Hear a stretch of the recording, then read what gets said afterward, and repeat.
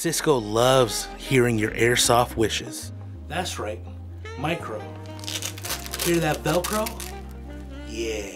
And he wants to grant your it deepest, like? darkest airsoft wish. You know it's carbine length. Oh, you like Glocks? Oh, I got a Glock. What Glock do you. Kevin? Kevin! Kevin, this isn't for you. Get off the phone, Kevin! with the YouTube Unboxing Mystery Box.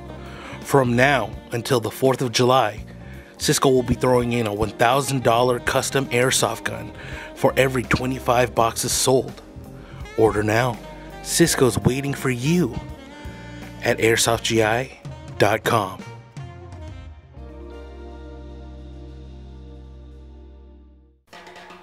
All right, all right, all right.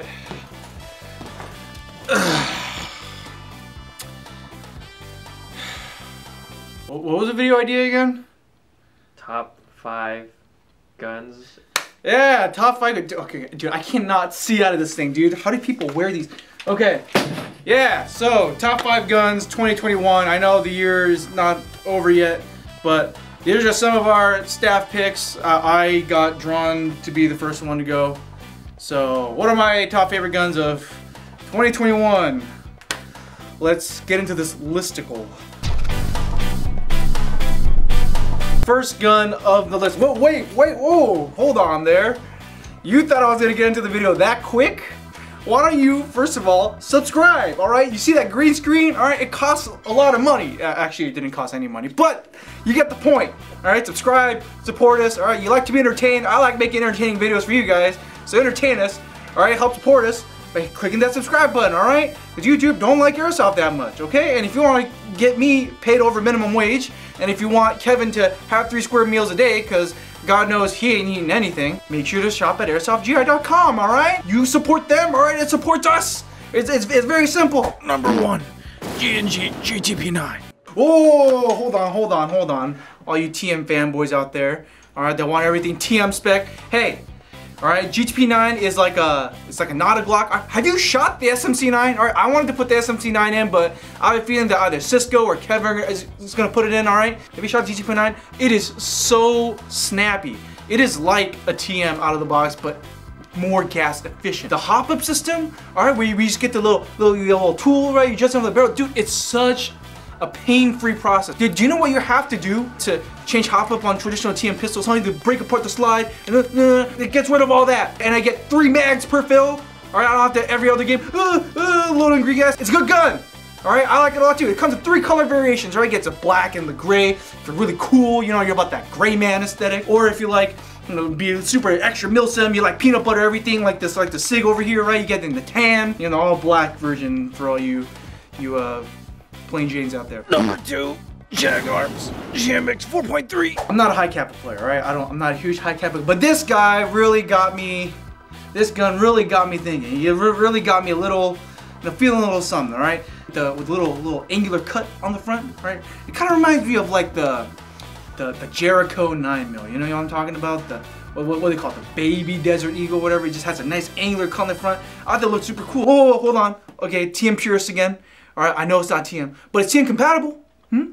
All right, and- their mags very gas efficient, extremely gas. And, and again, have you shot that thing before? Especially at 125 dollars, bro. It is it is such a steal, especially the way that it it cycles. Oh, it's so buttery smooth. One one thing I love doing, especially when we get new Jag Hi-Capas in our marketing office. All right, Kevin knows. All right, I'm, I'm all up in there, you know, fingers in the gun and everything, you know, just ra- ra- racking the slide. All right, because it, it feels so smooth. I don't know what kind of metal they use. I don't know what kind of like polishing compound that they use, but it is it just glides. And, and that's one of the reasons why I actually really love recommending Jag Hi-Capas to people, all right? Because it looks cool out of the box, all right? You don't need to spend uh, like what six hundred dollars for your aftermarket slide, Kev? Is, is that how much you spent? Listen, man, this this ain't about me. Yeah, yeah, yeah. Okay, so yeah, you don't have to spend all. It looks cool out of the box. It has really cool colors. You know, they even make one peanut butter color for all you peanut butter enthusiasts out there, and it's buttery smooth. Like I, I don't know what else to say. Number three, Classic Army Mark 16 ECS Skirmish. Uh, one thing that really surprised me this year was the Classic Army ECS Mark 16. It has that nice URG-I style rail. Hmm? All right, nice and lightweight. Traditionally for me, I like all metal guns. All right, but the polymer right, on the classic Army Mark 16 is surprisingly very durable. And I hate it when you like pinch cheaper plastic guns and you can feel a flex. All right, there's no flex. All right, it has that nice ECS gearbox, which I, I love a lot just because you get that snappy trigger response. And it has M-LOK out of the box. Um, it's great and it looks super clean. And if I if I were to take that out, out onto a field, right, no one touched the gun. All right, everyone thinks I had the Gucci's of the Gucci. You know, they, they, they will probably think, oh, this guy, this guy really knows what he's doing. This guy really knows what he's talking about because look at his gun. He has such a cool looking gun. Yeah, so especially specifically in the two-tone. Hmm? All right, a lot of companies, right, out there not brave enough to make a two-tone gun. They'll usually do all black or all peanut butter. All right, but what if what if someone wanted something in between? All my literally every single gun that I own is two-tone because I'm too scared. All right, I'm too much of a coward to go full peanut butter. Like even on this guy, this guy was full peanut butter. Look, look, look at this. I, I, I, I started coloring parts of it black because I'm, I'm too scared to go full peanut butter. Number four, Kennewick QRF Mod 1. I got an email right now saying my pit vipers are coming soon. Hey, I can't, can't wait to get those pit vipers in. anyway, oh, addressing elephant in the room. You heard me say a lot oh, I'm a huge KWA fan. I love KWA. Where are the KWA guns, bud? I thought you were KWA. Don't worry, all right? KWA guns coming up right now. One KWA gun that I'm dying.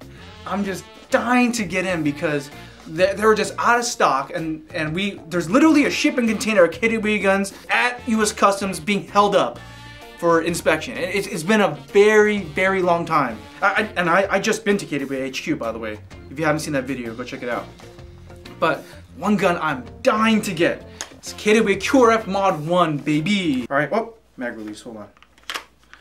QRF Mod 1, all right? So, why why do I want a KWA QRF Mod 1 over the, all the other mods? Because it looks cool. It has a curved mag, all right? It looks kind of like an MPX and an MP5 and a Classic Army X9, all right, they all had like a, a three-way baby, all right? They all kind of contributed a piece of themselves to, to make that perfect conglomeration. You know, like, I, I, was thinking originally I really wanted an MP5. You know, I wanted to get the Elite Force MP5, but I was like, ah, but everyone has an MP5 you know? And like you're kind of limited on the options what you can do to make it cool. And you know, KWA, they, they kind of hit it out of the park with this one. You know, it has a M-LOK rail, a really aggressive looking, you know, the, the Ronin style M-LOK rail, which I'm very in love with, okay? The PDW stock, oh, one of my favorite PDW stocks on the market because you actually fit a battery, okay? Other companies out there that make PDW stocks, take notes. Buy a KWA PDW stock and take notes because their, their PDW stocks are like top tier. And it comes with a little, little tool. You can adjust FPS, all right? So I'm mostly an outdoor player, so I like playing outdoors, but you know, the local fields I have to have CQB areas, okay? So I, I, I want a SMG kind of gun for those those maps. But you know, if I if I need to play with uh, with Kevin or some of the other Speedsofters that work here, you know, and they go to N1 or Tac City or some indoor field, you know, I could just get a little tool, and then it's CQB legal all of a sudden. Okay, you can accept a Gate Titan. I'll never put a Titan in my gun, but it's LiPo ready out of the box. 80 round midcaps, perfect, perfect capacity. I can reload a few times per match because I love reloading. It's so fun, it's so cool. Right, the ergonomics, perfection. Okay, KWA, please make more. Discontinue the Mod 2 and the Mod 3. Just keep making more of the Mod 1s. Number 5, GNG CMF16. Last gun on the list. Now, it kind of hurts me to say this because honestly, I'm not a huge fan of this platform, okay? And I'm not a huge proponent, I guess you would say, of of this platform. I'm not a 416 fan, all right? I'm not a huge fan of the 416. All right, even the A5. I, I, I think the A5 is cool, but I personally, I would never really pick one up just because I'm just not a fan. But there's something to it. There's something to the CMF16 that just looks so damn good. I think maybe just because of the billet style receivers. Uh, I'm gonna chalk it up to that, all right? And and the M-LOK rail, all right? You know how disappointing it is, hmm? You buy a 416, you're like, oh, I want like a, I want like an aftermarket rail. Oh, you get this proprietary freaking SMR rail. Dude, 2012 called, all right? They want their modular rail systems back. Get with the program. Start making M-LOK rails for the 416. But GNG, they, they just do. They, they did it. It's surprisingly sturdy and lightweight. You know, like I, I could I could one hand it. You know, I could I could just like shoot people like this. You know, on, on the field with one hand. Right, it's, it's, not too bad. And I know the Speedy Boys will love it because, you know, it weighs practically nothing. But hey, I like to put a ton of accessories on my gun. So, you know, like if I wanted to put like an airsoft holo sight and a flip to side magnifier and, uh, and like a unity riser mount and like a, I, I don't know, like a like a laser unit and a light and you know like a like a metal foregrip or whatever. It can take all that, all right, and still be very usable, very wieldy, okay? And the and there's there's like a certain crispness, there's a certain snappiness, very snappy. The the newer uh, G&G G2 gearbox, you know the same one in the SSG1, which is by the way my most hated release. Okay, G&G, stop. You're enabling, all right, you're enabling bad aesthetics. I, I, I can't criticize Speedsofters because they'll, they'll kick my butt any day. But you're enabling bad taste. Okay, you need to stop. Okay, but that the gearbox is good though. On the SSG1, good gearbox. All right, so they just took the gearbox from the SSG1 and just dropped it into a 416 style body, and I think it's amazing. Okay, now it comes in two variants, right? It comes with standard M4 buffer tube, which that's the one I like. That's the one I'll probably get, given that I get paid over minimum wage one day. But you know, they also make a PDW stock. Again, take notes, G&G. All right, go go buy a, a KWA PDW stock and take notes. Okay, because that PDW stock looks ugly. Who's gonna buy it? No one's gonna buy it. Okay, get a nice looking PDW stock. So take notes. Anyway, all right, great snappy trigger response, great rate of fire, LiPo ready out of the box. M-LOK, it got me a little moist. It, uh, I, I must admit, it, it surprisingly kind of turned me sort of kind of into a 416 fan. And, and, and that's, that's a big deal because our head tech, Taylor, you know, I've known him for over 10 years and he's always been telling me, get a 460, get a 460. Every time I looked at it, I said no. But now I can finally say, mayhaps.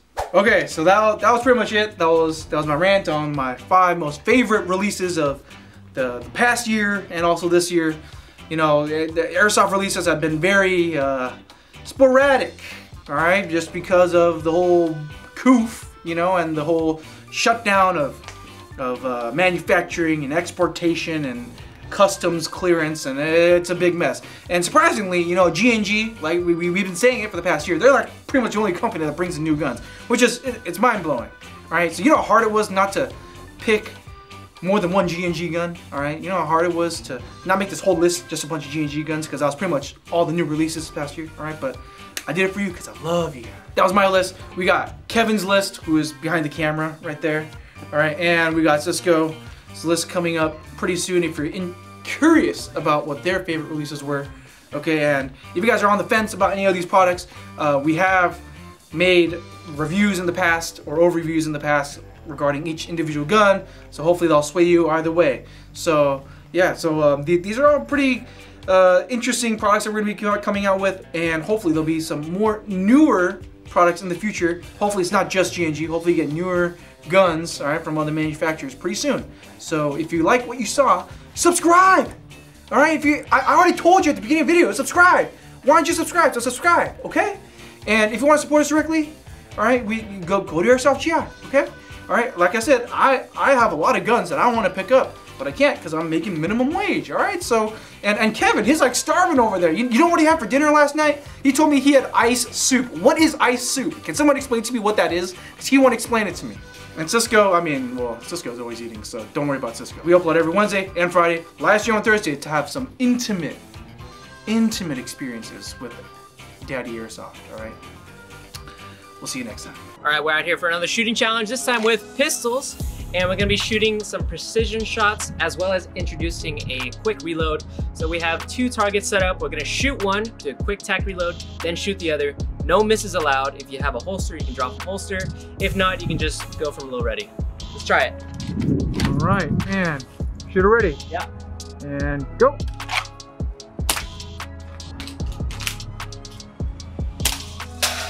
Yee!